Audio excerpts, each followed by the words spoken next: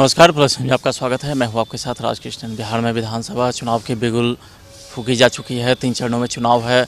28 अक्टूबर को पहले चरण का चुनाव है। और इन्हीं सब मुद्दों को लेकर के आज हम बात करेंगे कि बिहार में क्या विकास हुआ है। चूँकि सभी पार्टी अपने अपने स्तर से विकास का वादा कर रहे हैं। लेकिन अभी जो आज हम बात करेंगे, वो सबसे बड़ी बात हम किसानों के बारे में आज हम करेंगे कि किसानों को क्या मिला।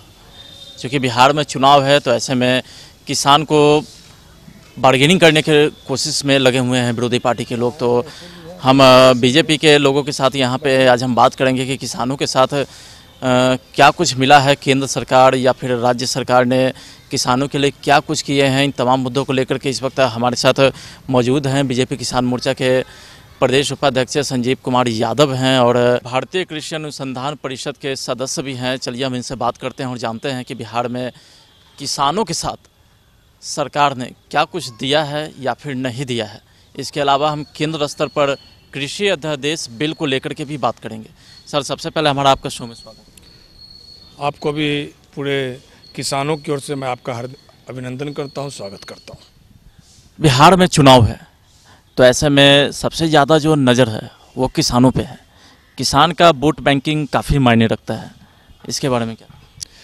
देखिए यशस्वी प्रधानमंत्री नरेंद्र भाई मोदी लगातार चुनाव को लेकर नहीं, तीन सौ पैंसठ दिन, बारह महीना, पाँचों वर्ष, ये सरकार गरीबों और किसानों की समर्पित सरकार है। आप जितने भी योजना देखें, लोक कल्याणकारी योजना, लाभकारी योजना, सभी निर्धन, असहाय, गरीब, गुरबा, दलित, मजदूर किसानों के लिए है। जहाँ तक आप किसान बिल की बात करते हैं तो ये किसान बिल किसानों के ज़िंदगी में नई सवेरा लाएगा, नई खुशहाली लाएगा और खेत खलियान और ज़्यादा लहलाएँगे और उनकी आय में दुगनी बढ़ोतरी होगी। इस भाव को लेकर माननीय किसान के अपने कृषि मंत्री नरेंद्र भाई तोमर और यशस्वी प्रधानमंत्री, हमारे दोनों लोग के सोच से, दृष्टि से ये किसान बिल लाया गया है। किसान बिल के बारे में जो कांग्रेसी लोग विपक्षी लोग, चाहे वो अकाली दल के हों, चाहे मायावती जी हों, ममता बनर्जी हों, आरजेडी की सरकार हो, वामपंथी लोग हों, जितने लोग विपक्षी लोग हैं, इस बिल से इसलिए वो घबरा रहे हैं कि टोटल ये बिल जो है किसानों के हित के लिए। है देखिए, आज़ादी के बाद से लेकर और 2013 तक किसानों की बात हमेशा की गई। लगातार किसानों की योजना पर किसानों के बजट पे चाहे बारहवीं सूत्री योजना हो तेरहवीं हो चौदहवीं हो सभी पर बात की लेकिन किसानों का जो बजट है वो शहर में लागू किया वो गाँव में नहीं लागू किया। तो अभी जो कृषि अध्यादेश बिल लाया गया है तो इस कृषि अध्यादेश बिल में आखिर किसानों की भलाई के लिए क्या कुछ इसमें शामिल किया गया है? देखिए ये अध्यादेश जो तीन ठो किसान सुधार अध्यादेश है। एक मार्केटिंग की बात की गई है एक उत्पादक फ़सल की बात की गई है, एक इंफ्रास्ट्रक्चर और कमोडिटी एसेंशियल की बात की गई है। ये जो बिल लाया गया है, ये एम एस स्वामीनाथन के द्वारा, जो हरित क्रांति के जनक कहे जाते हैं, उनके द्वारा ये दृष्टि से तैयार किया गया था। और ये कांग्रेस के समय ही तैयार किया गया था। लेकिन कांग्रेस ने अपने चुनावी एजेंडा में, चाहे 2015 हो या 2019 हो, लोकसभा के चुनावी एजेंडा में अपने घोषणा पत्र में इसको शामिल किया। लेकिन फिर बाद में ठंडे बस्ते में डाल दिया। लेकिन नरेंद्र मोदी ने इस अध्यादेश को गौर देखा कि ये अध्यादेश जो बना स्वामीनाथन का जो ये रिपोर्ट लाया गया है, निश्चित तौर पर किसानों के खुशहाली के लिए उन्होंने लागू किया। आज कुछ लोग बोल रहे हैं कि इससे मार्केटिंग समाप्त हो जाएगा, बाज़ार समाप्त हो जाएगा। ये और कंपटीशन के माध्यम से किसानों को खुला बाज़ार मिलेगा। चाहे हरियाणा हो, आंध्र प्रदेश हो, तमिलनाडु हो, पंजाब हो, उत्तराखंड हो या आपका हिमाचल प्रदेश हो। पहले क्या था कि जो भी किसान अपना फ़सल उपजाते थे उसका एक लिमिटेशन तय था कि इसके बाद पैक्स के माध्यम से सहकारिता के माध्यम से आगे नहीं बेच पाते थे लेकिन प्रधानमंत्री ने इस बिल में किसानों के लिए खुला छूट दिया है। कोई भी किसान अपना फ़सल उत्पादक किसी भी मार्केट में बेच सकता है। पहले ताकि आप पैक्स या बाज़ार समिति या सहकारिता के माध्यम से बेच सकते थे। उसमें क्या था कि बचौल बिचौलियों का बंडर बात होता था। जो दलाल थे, जो बड़े बड़े अड़हतिया लोग थे, उनका प्रॉफिट हो जाता जैसे एक उदाहरण स्वरूप अगर हम टमाटर दस रुपये किलो उत्पादन करते हैं और अगर हम बाज़ार में बेचने जाते हैं तो हम डायरेक्ट अठारह रुपये किलो नहीं बेच सकते, क्योंकि बीच में अरहतिया लोग के माध्यम से बेचते हैं। तो वो अरहतिया दस रुपये का उत्पादन बारह रुपये में लेता है, और हमसे बारह रुपये लेके वो अठारह रुपये बेच देता है। तो हम खून, पसीना, सिंचाई, पटवन, निकौनी सब कुछ करें। उसका मात्र दो रुपये किलो मिलता था। लेकिन जो बिचौलिया था, दलाल था, अड़हतिया था, वो बैठे बैठा छः रुपये प्रॉफिट खाता था। तो प्रधानमंत्री ने ये बिचौलिया को बीच से हटाया। डायरेक्ट खुला मार्केट कर दिया और उसके कारण क्या? वो दस रुपये का उत्पादन डायरेक्ट मार्केट में अट्ठारह रुपये बेच सकता है। तो इससे क्या है कि उसकी आय भी दुगनी हो जाएगी, खुशहाली भी होगी और सबसे अच्छी बात क्या है कि नगद पैसा उसके पास आएगा। तो इस तरह का जो खुला मार्केट किया गया है, जो कोई भी किसान कहीं भी, किसी भी प्रदेश में किसी भी देश में जाके बेच सकता है इसलिए कोई दिक्कत नहीं है। कुछ किसान ऐसे हैं जो पट्टा पर खेती करते हैं तो पट्टा पर खेती करने वाले जो किसान होते हैं जनरली उनका आर्थिक स्थिति काफ़ी ख़राब होता है तो ऐसे किसानों के लिए बिचौलिया ही एक साधन है बिचौलिया को कैसे हटा पाएँगे? क्योंकि बाहर जाने के लिए उनके पास उतना पूंजी तो होंगी नहीं। देखिए भारत में लगभग 86 परसेंट जो है वो लघु और छोटे किसान हैं सीमांत किसान हैं। और आपने बहुत अच्छा प्रश्न किया कि पट्टे की बात, मजदूरी की बात तो ऐसे ही लोग के खुशहाली लाने के लिए एक एग्रीमेंट किया जा रहा है बड़े पूंजी निवेशकों से, सहयोगी पूंजी निवेशकों से, जो कल तक हमारे मजदूर किसान थे छोटे छोटे दो हेक्टेयर तीन हेक्टेयर एक हेक्टेयर का जो खेती करते थे, ना उसके पास ट्रैक्टर हुआ करता था, न थ्रेस थ्रेसर था, न हार्वेस्टर था, यहाँ तक कि बीज की भी कमी होती थी। तो ऐसे सहयोगी पूंजी निवेश निवेशक से जब वो एग्रीमेंट करेंगे तो निश्चित तौर पे उनको पूंजी भी दिया जाएगा, उनको मशीनरी भी दी जाएगी, और उनको जो बीज के लिए जो रकम दिक्कत होती थी, उसको भी मुहैया कराया जाता। तो अब क्या है कि उनको और ज़्यादा सहयोग प्रदान होगा पूंजी निवेशक के द्वारा। और पूंजी निवेशक, मैं एक और बात बताना चाहता हूँ कि इसमें बहुत तरह के प्रावधान है, और जितने भी प्रावधान है, जितने भी लोक कल्याणकारी उस अध्यादेश में लाया गया है शत प्रतिशत किसानों के लिए कहीं पर भी एग्रीमेंट पूंजी निवेश को बांधा नहीं गया। किसान को स्वतंत्रता दी गई है। अगर मान ली पूंजी निवेश किसानों को या मजदूरों को अगर एग्रीमेंट करता है किसी कारणवश जो एग्रीमेंट के बाद अतिवृष्टि, अनावृष्टि हो जाती है, या बाढ़ आ जाता है, या किसी तरह की प्राकृतिक विपदा पड़ती है तो उसमें फ़सल नुकसान हो जाते हैं। लेकिन उस स्थिति में नुकसान का उन, भुगतान जो है, वो पूंजी निवेशक करेगा।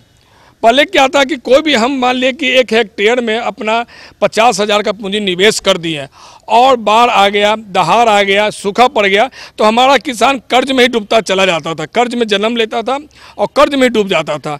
लेकिन पूंजी निवेशक और सहयोगी लोग के कारण क्या, कि ये लाइबिलिटी जो है, वो उनके ऊपर पड़ेगा, किसानों के ऊपर नहीं पड़ेगा। इसलिए एक बोझ ये भी कम किया गया। दूसरा एक और है कि पूंजी निवेशक सिर्फ़ वो फ़सल के लिए नहीं है, बहुत से किसान हमारे ऐसे हैं जो तिलहन, दलहन अपने खड़ियन्ना में रख देते हैं, उपज के बाद दौनी करते हैं, उसी समय पानी बढ़ जाता है, ना गोदाम का भी प्रावधान नहीं है। तो वो जो पूंजी निवेशक लोग हैं, वो अपना वहाँ पे गोदाम भी बनाएँगे, कोल्ड स्टोरेज भी बनाएँगे और बड़े बड़े वेयर हाउस बनाएँगे ताकि जो फ़सल नुकसान हो जाता है, ऐसे लगभग हमारा 16 से 18 परसेंट फ़सल नुकसान हो जाता है। तो वो नुकसान ना ही होकर अब वो गोदाम में रखा जाएगा। तो उससे एक और फ़ायदा क्या होगा कि हमारा जो फ़सल बर्बाद होता था, पूंजी बर्बाद होता ना पूंजी निवेशक को बर्बाद होगा और ना हमारे किसान मजदूर को बर्बाद होगा। तीसरी बात यह है कि वो जो गोदाम में माल रखेंगे तो पूंजी निवेशक को भी दो पैसा फ़ायदा होगा। एक प्रश्न और आ रहा है एमएसपी की बात आ रही है। आप देख रहे हैं कि जितने भी विपक्षी लोग हैं, एक खा मुखा जब जब इलेक्शन आते हैं तो गुमराह करते हैं। लोगों को एक भ्रम फैलाते हैं, किसानों को गुमराह करके अपना रोटी सेकते हैं, राजनीति करते हैं। लेकिन ये जो लोक कल्याणकारी अध्यादेश आया है, किस, किसान सुधार अध्यादेश तीनों जो बिल आई है, इसमें कोई राजनीति की बात नहीं है। इसमें किसान मजदूर की खुशहाली की बात है, किसानों की प्रगति की बात है। अगर मान लिए एमएसपी जो लोग बोल रहे हैं, उनको मालूम होना चाहिए कि एमएसपी जो है, न्यूनतम समर्थन मूल्य का ये कानून बनाया गया है ना मिनिमम सपोर्ट प्राइस उसमें अगर मान लिए कि हमारा चावल है, और चावल हम बीस रुपये किलो हम एग्रीमेंट करते हैं, कोई कारपोरेटर जो है, या पूंजी निवेशक है, किसान से अगर चावल एग्रीमेंट करता है बीस रुपये किलो, और उस समय चावल हो सकता है अच्छा मंडी अच्छा बाज़ार हो तो तीस रुपये किलो चला जाएगा। तो उसको एक अफसोस होगा किसान को कि भाई हम बीस रुपये किलो चावल बेच दिया बाज़ार में तो तीस रुपये उस स्थिति में, उस एग्रीमेंट में क्लाउज ये भी जोड़ा गया है कि अगर ज़्यादा प्रॉफिट होता है तो उस प्रॉफिट का भाग भी किसानों को दिया जाएगा बोनस दिया जाएगा। इस तरह का प्रावधान किया गया है। लेकिन आज जो भी देख रहे हैं किसानों के नाम पर जो बिचौलिए लोग, जो दलाल लोग ट्रैक्टर चला रहे हैं, वो किसान नहीं हैं।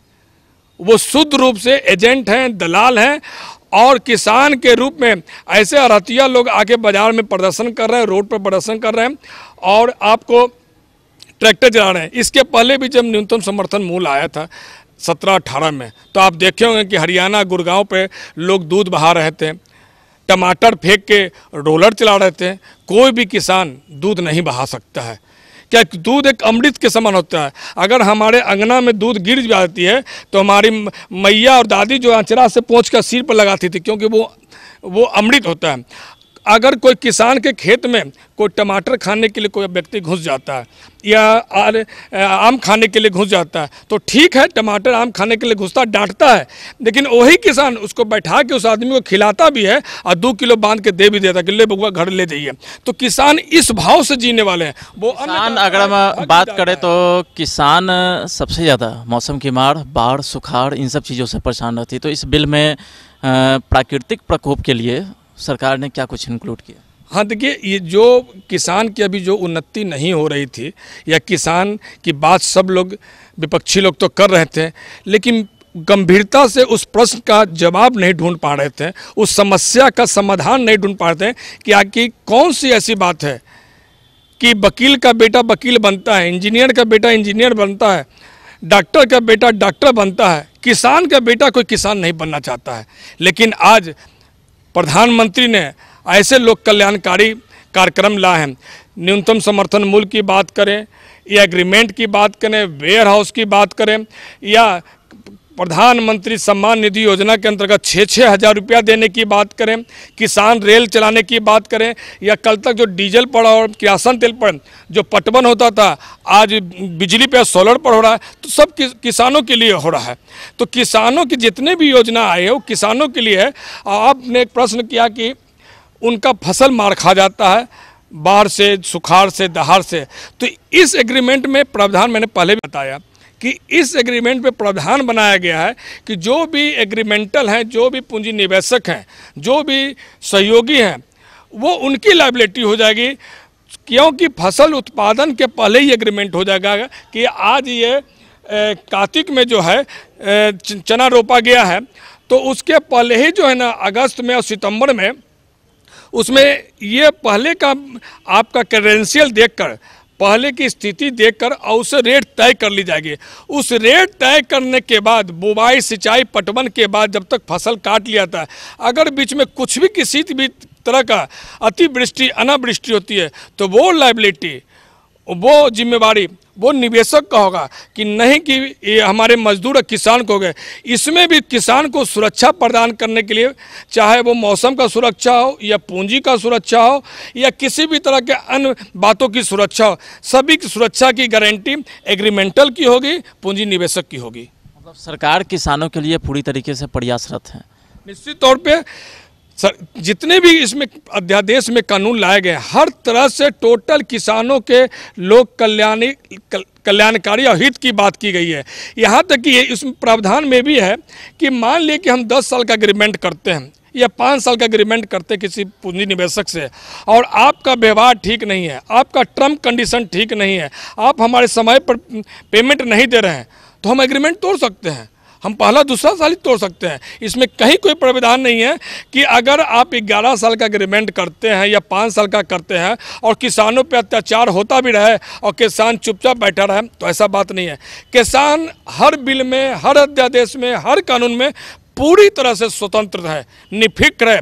कहीं पर, पर उनका बंदिश नहीं है कहीं पर लिमिटेशन तय नहीं किया गया। हर तरह से स्वतंत्र होकर पूंजी निवेशक से कोऑर्डिनेट करके अपना खेत खलियान में लला लल्हा सकते हैं।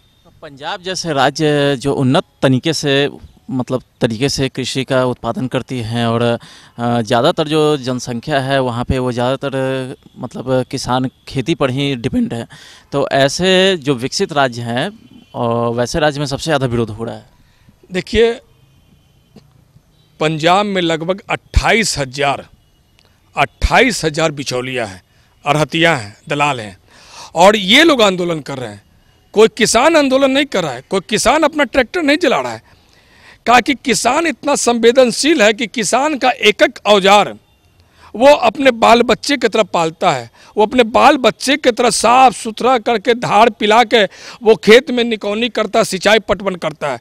ये जो भी आंदोलन जो देख रहे हैं, ये लोग बिचौलिए लोग कर रहे हैं। ये लोग बड़े बड़े जो अरहतिया लोग हैं जो दलाल लोग हैं, जो किसान के रूप में रोड पर आके आंदोलन कर रहे हैं, क्योंकि इनकी राजनीति बंद होने जा रही है। इनकी दुकानें बंद होने जा रही हैं, इनके पेट में दर्द हो रहा है। अरे भाई, ये जो अध्यादेश लाया गया, ये तो कांग्रेस लाया था। आपने 2013 के घोषणा पत्र में इसको रखा, नहीं लागू किया। आपने 2019 के घोषणा पत्र में रखा, नहीं लागू किया। क्यों नहीं लागू किया? कोई मना करने गया था क्या? आपने तो ठंडे बस्ते में डाल दिया।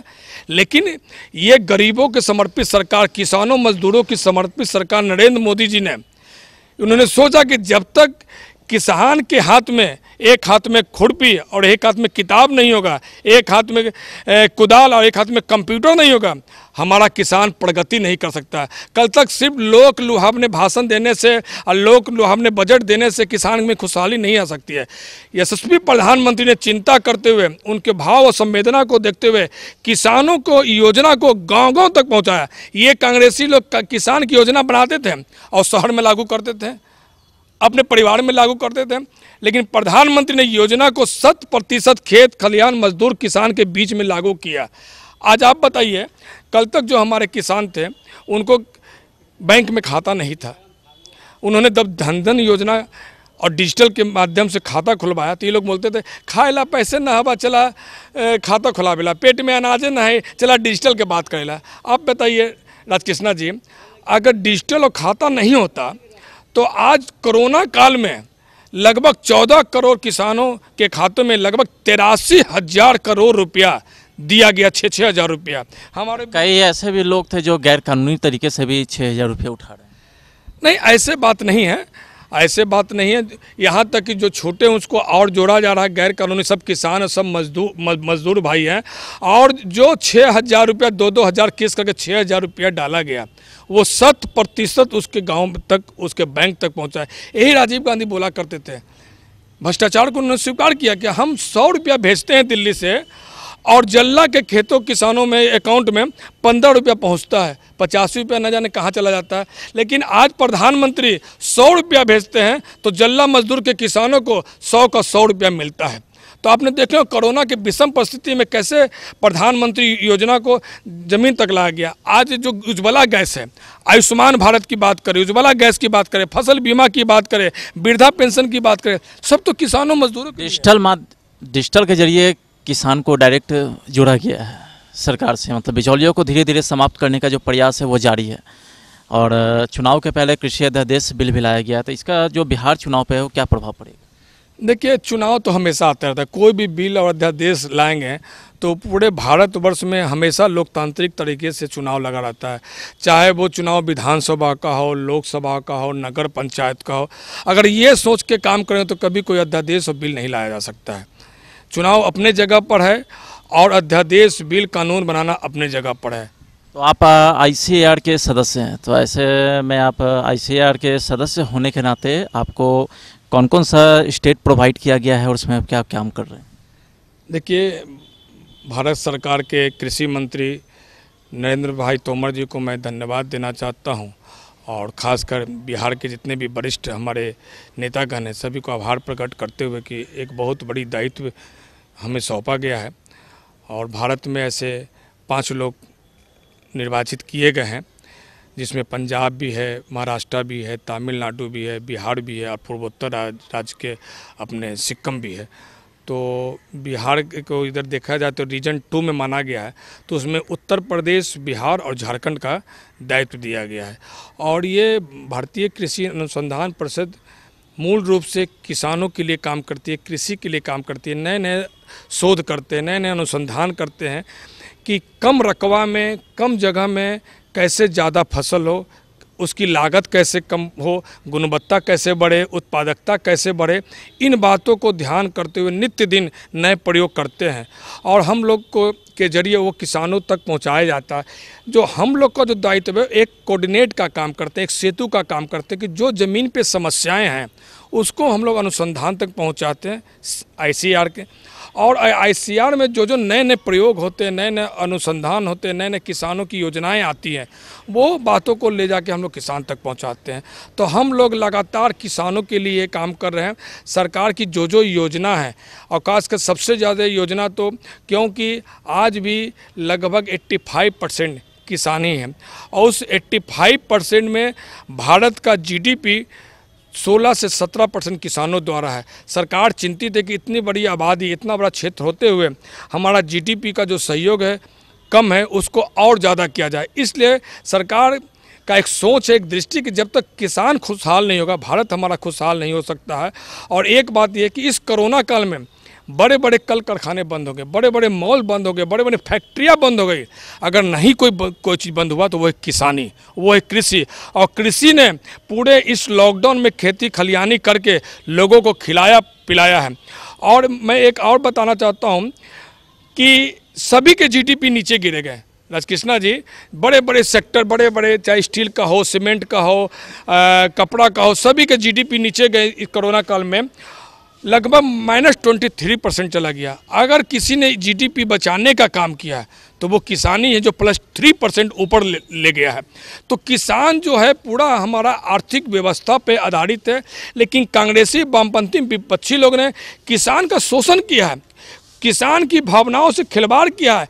किसान की योजना और बजट के नाम पर बंडरबाट किया है। लेकिन प्रधानमंत्री ने गरीबों को, किसानों को, दलित मजदूरों को, उसकी संवेदना को समझते हुए जितने भी योजना देखें, अगर एक सौ पैंसठ योजना चल रही है, उस एक सौ पैंसठ योजना में सवा सौ योजना जो है, गरीब गुरबा दलित मजदूर किसानों की है। तो उन्होंने इस बात को समझा और इस कोरोना काल में एक और अच्छी बात मैं अवगत कराना चाहता हूँ। कि जो कल तक भारत संस्कृति को भूलते चले जा रहे थे अपने परंपरा को भूलते चल, चले जा रहे थे चाहे वो आयुर्वेदिक की बात हो जड़ी बूटी की बात हो मसाले की बात हो आज सब लोग आशा बड़ी निगाह से देख रहे हैं कि ऐसी कौन सी बात हो गई कि कोरोना काल में सभी की मरने की संख्या बहुत ज़्यादा हो गया भारत का बहुत कम न्यूनतम से न्यूनतम है। उन्होंने पाया कि यहाँ के लोगों के अंदर प्रतिरोधक क्षमता ज़्यादा है। यहाँ में इम्यूनिटी पावर ज़्यादा क्योंकि जो भारतीय जड़ी बूटी है आयुर्वेदिक दवाइयाँ हैं या मसाले जो घर की मैया चाची बनाती हैं, वो बहुत ही गुणकारी, लाभकारी है। जिसके कारण विदेशों में डिमांड बढ़ गया। इस कोरोना काल में तीन लाख करोड़ का अलग से एक्सपोर्ट का ऑर्डर आया है और तीन लाख करोड़ का जड़ी बूटी मसाला अलग से विदेशों में डिमांड बढ़ गया। तो समझ लीजिए कि जो हमारे प्राचीन सभ्यता थी, संस्कृति थी, संस्कार था, पुरातन जो हमारा प्रचलन था, वो पुनः वापस आ रहा है। और यूँ कह सकते हैं कि विश्व गुरु के सर्वोच्च पद पर स्थापित करने के लिए यशस्वी प्रधानमंत्री लगातार दिन रात 135 करोड़ जनता की चिंता करते हुए विश्व गुरु के पद पर स्थापित करने के लिए तत्पर हैं। चलिए तो इस वक्त हमारे साथ मौजूद थे बिहार किसान मोर्चा के प्रदेश उपाध्यक्ष थे और आईसीआर के सदस्य भी थे संजीव यादव। इन्होंने बताया कि कृषि अध्यादेश बिल जो है वो किसानों के हित के लिए है, बिचौलिया और विरोधी पार्टी के कारण लगातार इसका विरोध हो रहा है और सबसे ज़्यादा विरोध पंजाब में भी हो रहा है, चूँकि पंजाब में बिचौलियों की संख्या काफ़ी ज़्यादा है। कैमरा पर्सन सूरज कुमार के साथ राजकृष्ण प्लस न्यूज़ पटना।